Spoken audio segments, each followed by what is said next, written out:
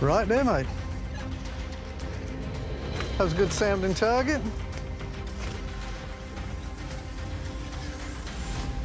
We're gonna have to pry him out of there. All right, Gary, try that. See what we got. Rick and Marty Lagina, known for keeping their TV show details under wraps, are facing a tough situation.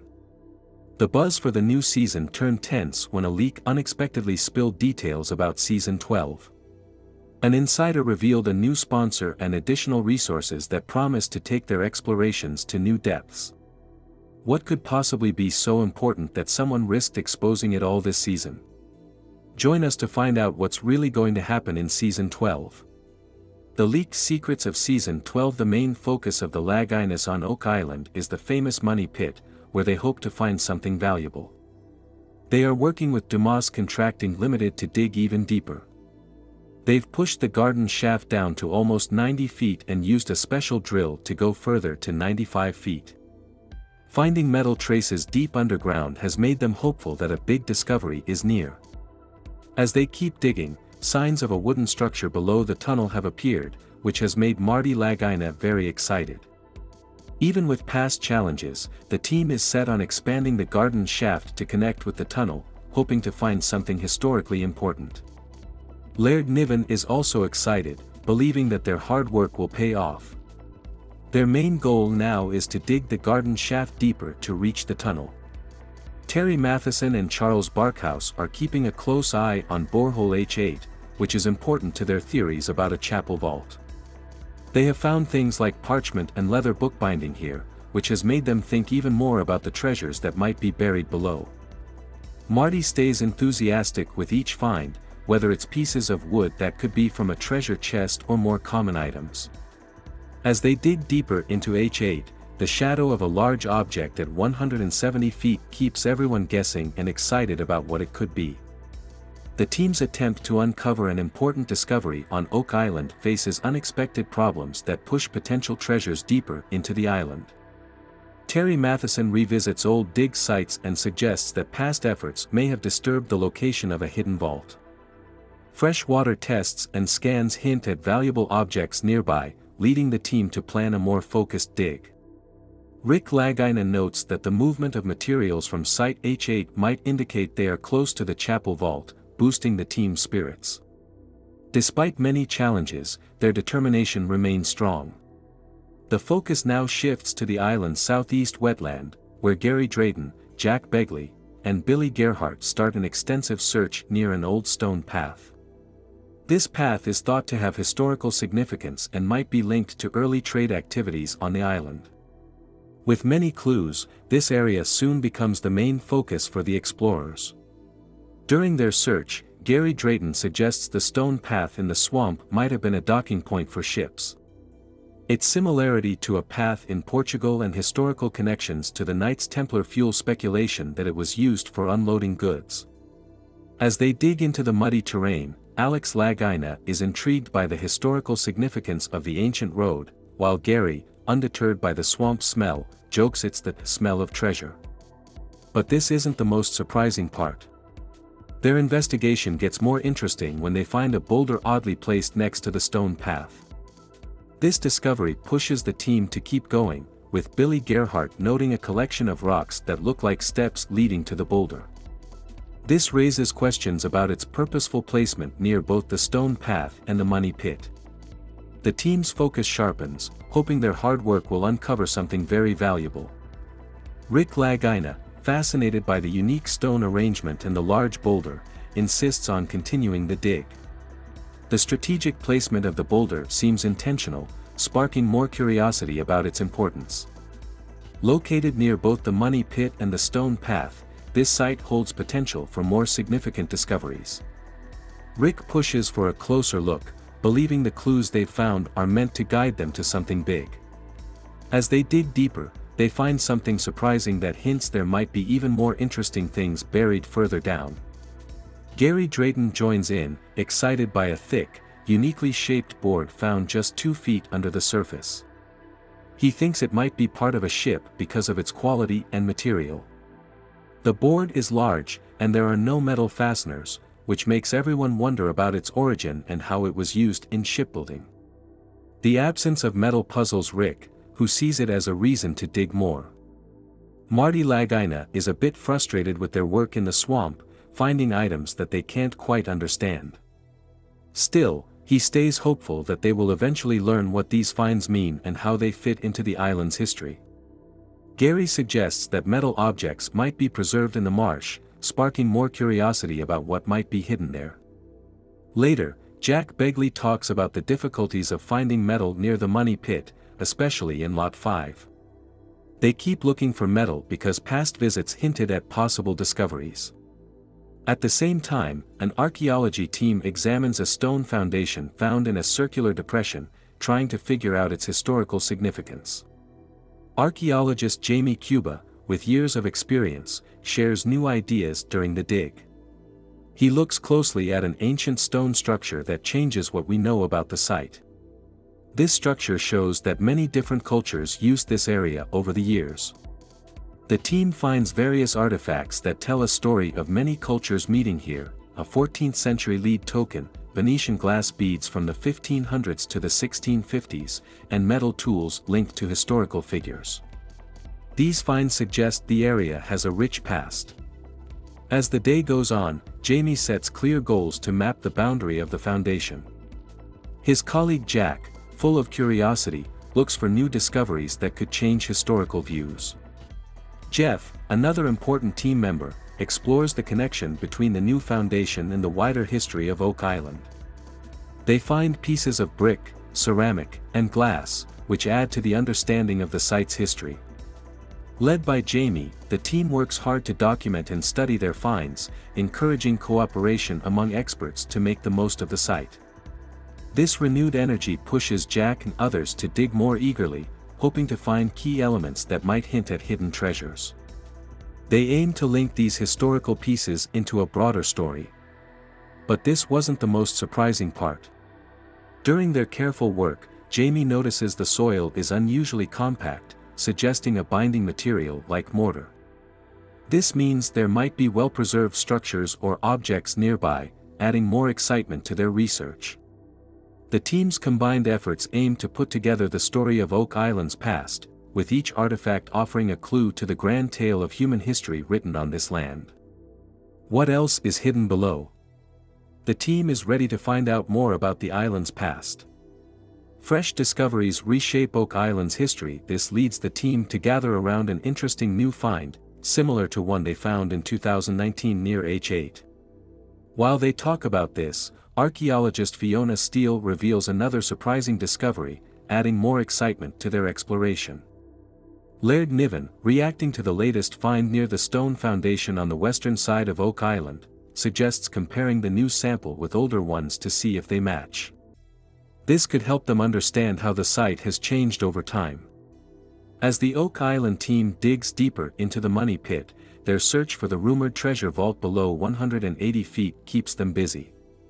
With each layer of soil, Marty Lagina and his crew's excitement grows, even though they haven't found the treasure yet. Their conversations often turn to past challenges, talking about them like old war stories, important yet frustrating. The mystery keeps them digging further and exploring more. But this wasn't the only surprise.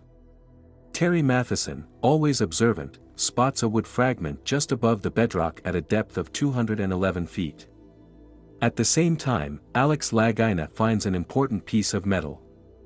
Terry suggests the metal might be from a broken plug of the treasure vault, hinting at dramatic events in the past that might have shattered it during earlier digs. Marty likes this idea, imagining the plug breaking apart in all directions. This theory sparks their imaginations, even though it doesn't offer solid proof. The team then discusses whether to move the drilling rig to a new spot based on a theory that the vault has shifted positions. This flexibility seems designed to keep their digs going, no matter how often the current location doesn't yield anything valuable. Rick Lagina adds to the conversation by focusing on the depth and type of materials they find, which supports their shifting theories, often as changeable as the clay they dig through. As they get ready for the next day's work, Jack Begley prepares to sift through whatever they find next. His routine stays the same, despite the frequent lack of big discoveries. The advanced digging technology they use contrasts with the uncertain basis of their search. But this wasn't the end of their efforts. Elsewhere on the island, attention turns to a wood sample sent for carbon dating, taken from beneath the garden shaft. Alex Lagina makes sure to stay informed by calling Craig Tester, ensuring they keep getting new information. The excitement peaks when they find out that the wood dates from between 1631 and 1684.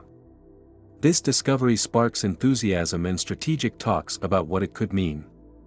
Despite this fascinating historical detail, it doesn't get them any closer to finding treasure. Instead, it pulls them deeper into historical theory. Craig Tester shares the carbon dating results, showing that the structure might be centuries old. This information adds more mystery but doesn't lead to any physical discoveries. It seems like the focus on telling an engaging story is becoming more important than finding actual treasure. This keeps both the team and the audience hooked, even as the chance that the treasure might just be a well-crafted tale grows. Rick Lagina thanks the Dumas team for their hard work, highlighting how much their contribution means. This shows a common theme in treasure hunting, the excitement and investment often lead to more exploration, even if they don't find anything concrete. As the episode ends, the team thinks about the significance of their findings, or the lack of them. It's like a play, with each member playing a role in a show that's part theater and part archaeological dig. The promise of just one more hole, one more sample, one more test, keeps them coming back, season after season. They are digging into both the island and the layered story of historical intrigue and adventure that Oak Island represents. But this isn't the worst part. Despite not finding significant treasures, the Oak Island saga goes on, driven by hope, speculation, and the timeless human fascination with hidden treasures. The storyline mixes historical facts with modern treasure hunting, keeping viewers watching. Each episode builds on the narrative, encouraging viewers to stay tuned, driven by the same hope that keeps the diggers going, that the next dig, the next layer, might finally reveal something amazing. Yet, the treasure remains elusive, possibly showing that their quest is more about the journey than the end. New findings lead to an ancient tunnel, hinting at more layers to explore.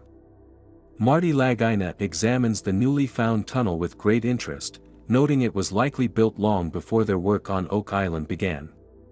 He is fascinated by the tunnel's age, feeling that such ancient craftsmanship adds depth to their story.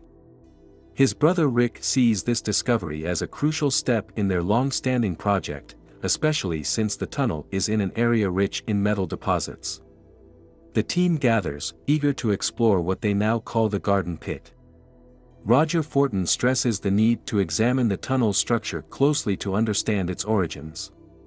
Scott Barlow, perhaps a bit impatient, urges the team to speed up their efforts, feeling that they are close to a big breakthrough. Craig Tester, in a moment of triumph, encourages the team to keep digging, with Rick Lagina showing gratitude and giving the green light for more excavations. What will they find next?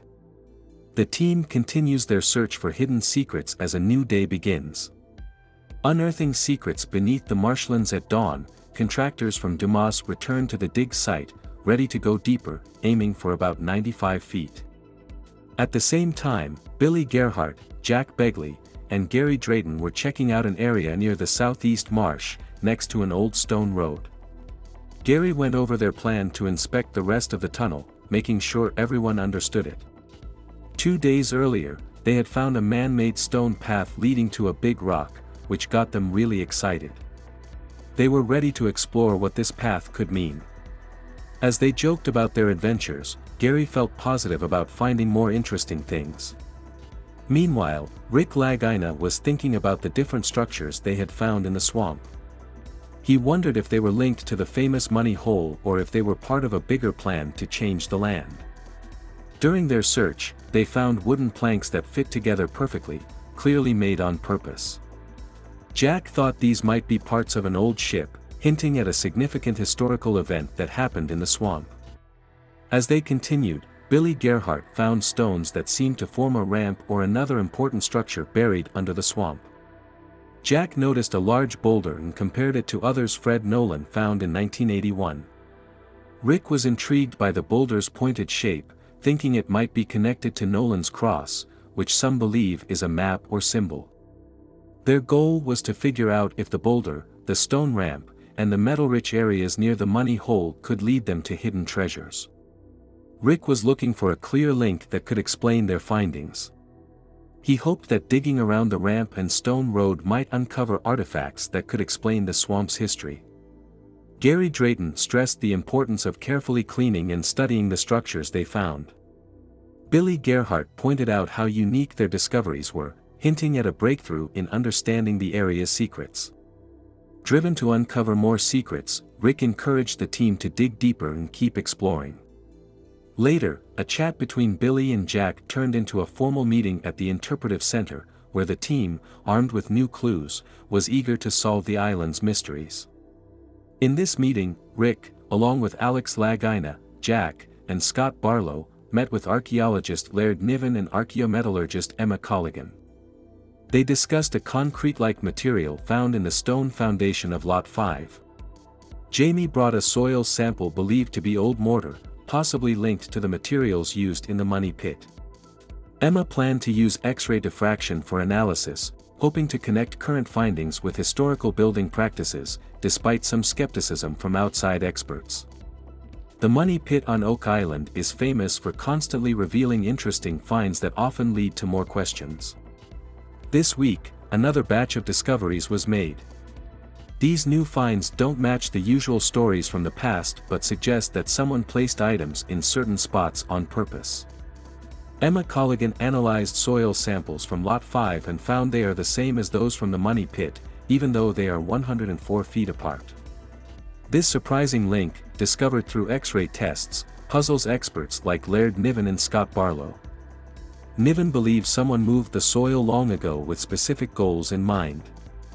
Alex Lagina notes that moving soil from one place to another would have taken a lot of effort, hinting that this might have been part of a well-planned operation. This connection sparks new discussions about what happened on the island in the past. Jack Begley and his team are curious about what secrets Lot 5 might reveal about past digs or hidden treasures. Meanwhile, Scott Barlow shares new information from wooden samples found in an underground passage from the 1600s, supporting theories about William Phips' involvement. Phips, a naval captain known for his adventures with the Conception, is thought to have hidden treasures on Oak Island, perhaps more to create a thrilling story than to record real history.